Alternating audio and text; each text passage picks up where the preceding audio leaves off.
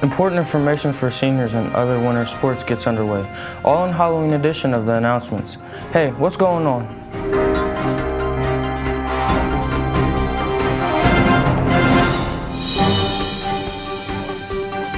My name is Deontay Gabbard. As you can see, my body has a mind of its own today. Now let's roll in with some announcements starting with another Senior Moments. Welcome to Senior Moments with Mrs. Porter. Seniors, the counselors are very excited to hear what colleges you have been accepted to. We are beginning to make banners to hang above the lockers in the main hallway with this information. In addition, we would like to learn of any scholarship money you have been awarded to these colleges to, to put on your banner.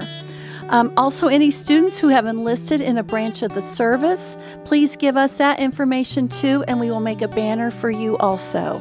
And just a quick reminder this Sunday from 2 to 4 is our first FAFSA day, College Goal Sunday. See you next week for more senior moments with Mrs. Porter. Now let's get to the announcements. Started with the call out meeting for English academic team.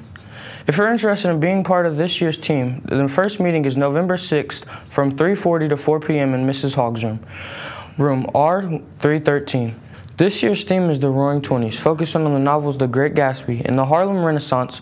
For more information, or if you can't make the meeting, see Mrs. Hogg in her room at R1 at R313.